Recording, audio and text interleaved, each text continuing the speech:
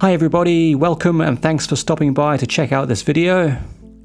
Today I'm going to talk you through signing up and creating an account on the Lime DJ platform, getting all started ready to take requests and use all of the other amazing features this platform has to offer.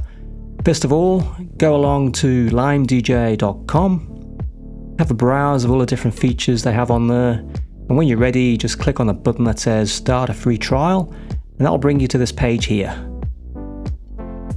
and just go ahead, enter in your email address, pick yourself a good username that maybe reflects your business or what you do.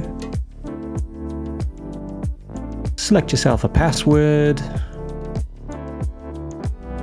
If you like, let them know where you heard about Lime DJ, confirm you're not a robot, click on create account.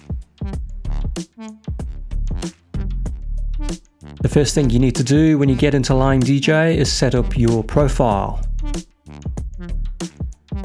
If you are from a country where English is not your first language, you can select your local language up the top here, which will make life a little bit easier for you. Next, you need to scroll down and enter in your first name. Enter in your business name.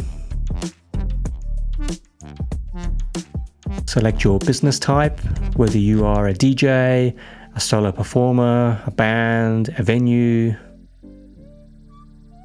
Just make your selection in this box here. Enter in your location. Now everything else on this page is optional, but we do recommend filling in as much as you can so you get your profile page up and running straight away.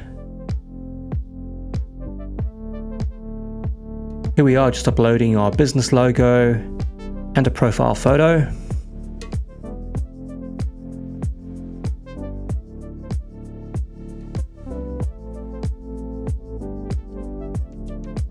You can tick some boxes here indicating what services you provide.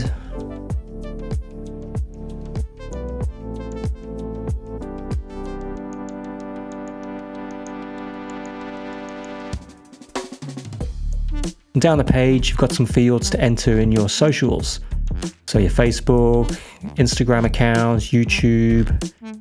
You also now have a TikTok field.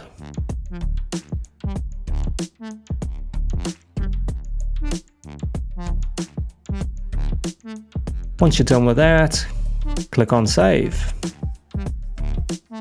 Now there are just a few more settings we recommend you look at before you go ahead and create your first show and you can get to these by clicking on the settings tab just below edit profile. So on this page we do recommend you select your time zone. If you want to provide a way for your audience to translate your public pages to the local language, you can enable this feature here. Below that we have a box for the confirmation message this is uh, displayed to the audience once they request a song. You can edit this to say whatever you like. If you'd like your audience to leave you a Google review, you can paste your Google review link into this box here. Now one of the great features of Lime DJ is the ability to receive tips from your audience. When enabled, a button will appear on your public page inviting the audience to send you a tip. And in this field here, you can change the text on that button. Lime DJ have partnered with global payment gateway Stripe. This allows your audience to send you a tip using their credit card, debit card, Google Pay, Apple Pay, Cash App, and all the rest. To enable this feature, you first need to set up a Stripe integration. Stripe integration is a completely optional component. You only need to do this if you intend on receiving tips from your audience. To get started with this, select your currency, then click on Set up Stripe integration. Once you've been transferred to Stripe, Simply follow the instructions and enter in the required information to complete your Stripe account setup. Once you are done, you'll be taken back to Lime DJ where you'll be ready to create your first show. That's it for now, thanks for watching, in our next video we shall create a show and start taking some song requests.